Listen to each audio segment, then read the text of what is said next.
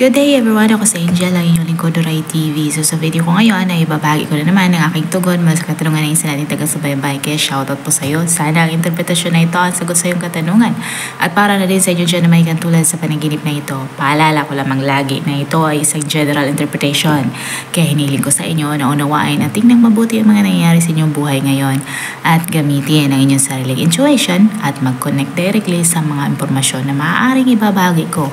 At para labis yung ang ibig sabihin ng iyong panaginip ay panoorin nyo ang video na ito hanggang sa matapos. At kung ito ay nag-resonate, bawat isa sa inyo, please leave us a comment. At huwag na din kalimutang mag-like, mag-subscribe at i-hit na din ang notification bell para maging updated kayo lagi. At sa mga hindi pa nakapag-follow sa aking Facebook page, i-follow nyo na po Duray TV at i-share nyo na din. Maraming salamat. Ang pagkakaroon mo ng panaginip tungkol sa maliit na uod can be absurd, even disgusting.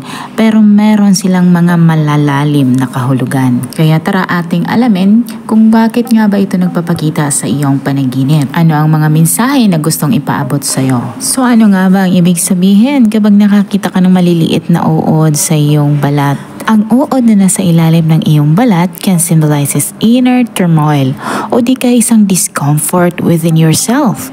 Ang panaginip ay maaaring nagtuturo sa isang sitwasyon or emotion na nagiging sanhi na nakadama ka ng restless or uneasy. Maaaring ito din ay nagrepresent sa nararamdaman ng pagiging trapped or overwhelmed sa isang sitwasyon or relationship. Maaaring ikaw ay makadama na katulad na lamang na parang hindi ka uh, o hindi mo magawang mag-escape sa isang mahirap o di kaya isang uncomfortable experience. Sana nagustuhan nyo ang dream interpretation na ibinahagi ko sa inyo ngayon at makibahagi na din sa inyo mga opinion at katanungan sa pamagitan ng pagkomento sa baba. At kung bago ka pa lang sa akin channel ay huwag kalimutang mag-like, mag-subscribe at i-hit na din notification bell para maging updated kayo lagi. At sa mga hindi pa nakapag-follow sa akin Facebook page, i-follow nyo na po Duray TV at i-share nyo na din. Maraming salamat. Hanggang sa muli. Paalam.